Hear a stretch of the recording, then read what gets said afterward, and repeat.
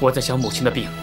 这，我许一个愿，如果能射中那只雁，母亲的病就会好。那我们一同把它射下来，如何？好。以雁为誓，又亲安，却因心诚半生残。大家好，我是二面姑。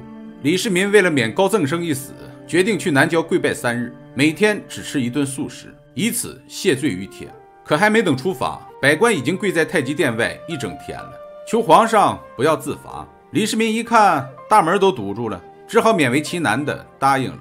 但是体罚可免，罪责难逃，于是下了罪己诏，给自己列了三条罪名：一、知人不明，错用了高赠生；二、以私乱法，包庇了高赠生；三、奖罚不明，处理不公，以三条罪名告罪于天下。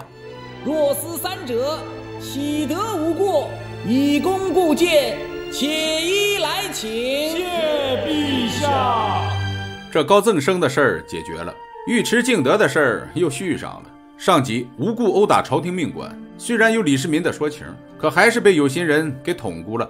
我们是手足兄弟，别人说你要谋反，我问你。别人为什么要这样说？尉迟敬德本就是粗人一个，不会说什么大道理，更不善于辩解。被人诬告，他只当过耳先锋。可如今李世民听信他言，怀疑自己，见而寻之，对他来说比死都难受啊！随即撩开朝服，后背上一道道伤疤赫然出现，每一道都是与李世民的一次出生入死，每一道都凝聚着君臣之情。他们在告诉李世民：如果我们都不能代表忠诚，那什么？才是忠诚。你这是何必？我不怀疑你，我不怀疑你，我才这么说。起来吧，起，起来。得到了李世民的信任，尉迟敬德委屈的像个孩子似的。为了避免他人口耳，尉迟敬德离开长安，出任夏州都督。到此，李世民为了属下的烦恼解决了。接下来说说他的儿子们。自从李承乾加冕之后。李世民就放了少许权限给他，让其适应。经过一段时间的考验，发现其政治头脑尚可。这样，今后我离开京师的时候就委托给你了。陛下放心。我听说你过于喜爱游猎，有这事儿吗？狩猎是为了训练军事，我身为太子，不能荒废军事。我知道，知道，我知道是为了军事。我说的是过于喜欢。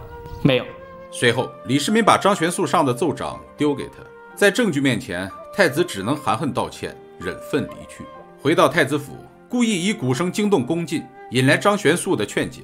随后，当着老张的面把大鼓摁地上，一顿斧凿脚踹。张玄素明白，这是冲自己呀。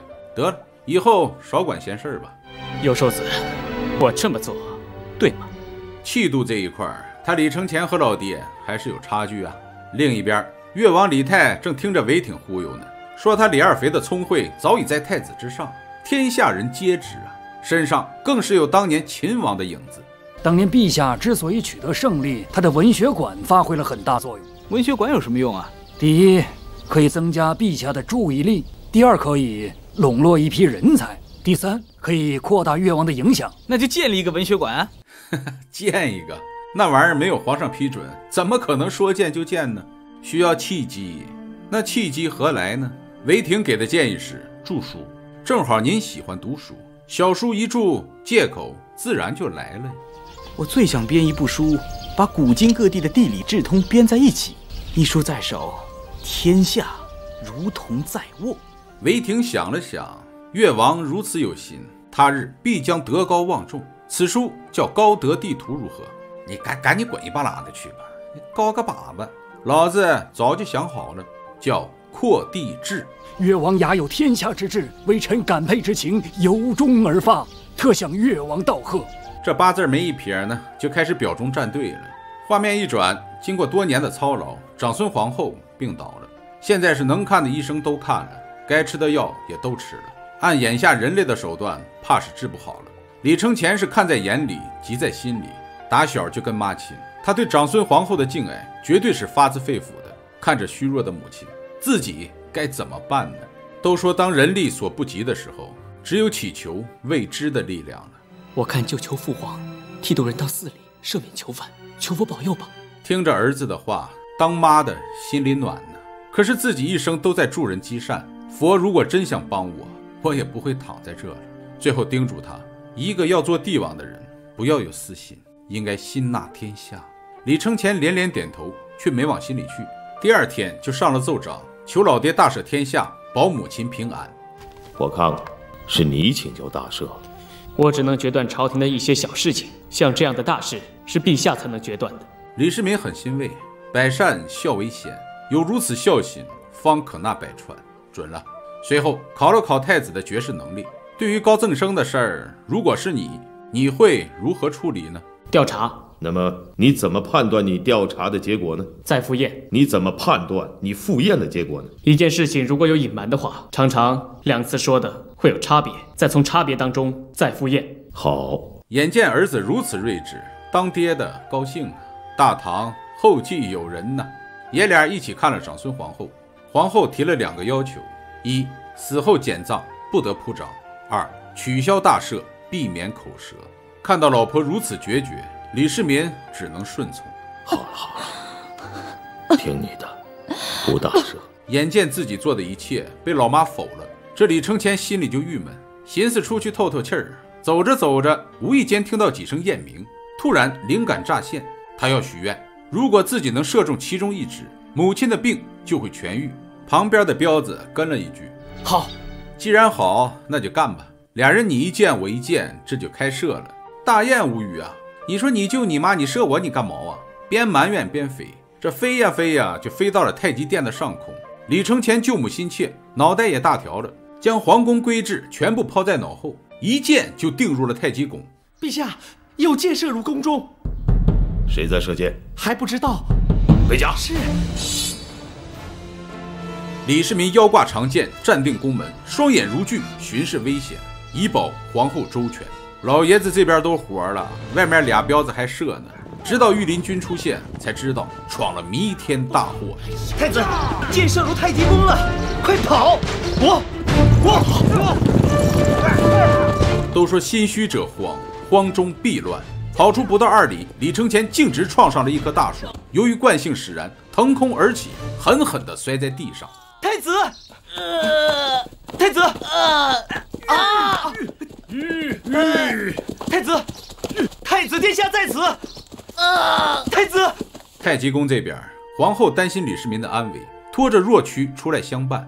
当看到箭矢上刻着“太子承乾自作孽”六个大字的时候，长孙皇后的魂儿都没了。真是李云迪遇到朝阳群众，怕啥来啥呀！太极殿上，太子李承乾是被御林军拖上来的。房玄龄看到太子的腿上，吓得脸儿都白了。啊，陛下，太子他……你身为太子詹事，为什么管不住太子？此时的李世民再一次犯了邪病，把张运古的死抛在了脑后，丝毫不给众人说话的机会。陛下，呃，陛下，闭嘴！禁闭太子。是是啊，陛下啊，陛下，辞去你的一切官职，退出宫阙。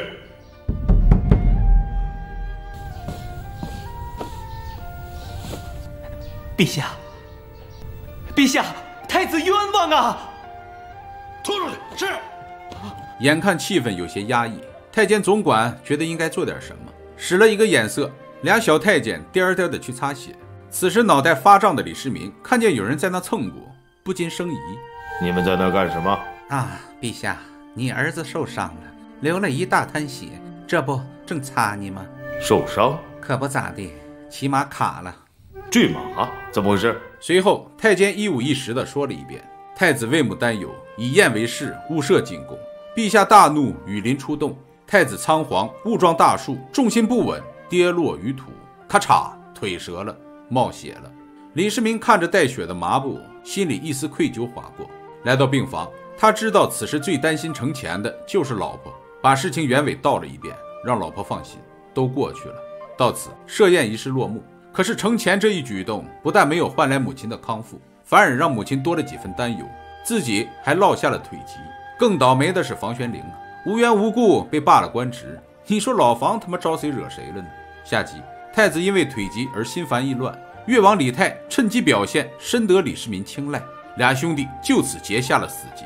长孙皇后也到了油尽之时，临死前求李世民答应自己三件事：这是毒药，自从跟随你之后，我每天都带着它。我发过誓，你要先走我一步，自杀。追随你我可不想像汉高祖的雨后